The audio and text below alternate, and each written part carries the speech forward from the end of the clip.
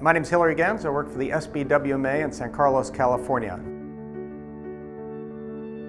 California has ambitious goals for recycling and for organics and food waste diversion. Anaergia's equipment represents a new capability to divert that material and to get energy and nutrients from that. The SBWMA currently diverts 50% of our waste from landfill. While we're proud of that achievement, we still send 50 tractor trailer loads per day to the landfill for disposal. This Organics to Energy project with Anaergia represents a new frontier in the effort to divert waste from landfills and recover energy and nutrients. Anaergia's unique technology used here at the SBWMA captures organic waste that would otherwise go to landfill and converts that to a clean organic slurry that's used by wastewater treatment plants locally to generate green power. The challenge to capturing organics and converting it to energy is to remove the material that you want from the solid waste stream. Anaergia's Organics to Energy system has multiple steps that work to extract a clean slurry from the waste. The first step in the Anaergia process is to shred the waste material. After shredding, the material goes to the OREX press. This unique machine applies pressure to the waste material. The liquid fraction of the waste is extracted in this process. The last step in the Anaergia process is to clean up the liquid fraction and remove small bits of contamination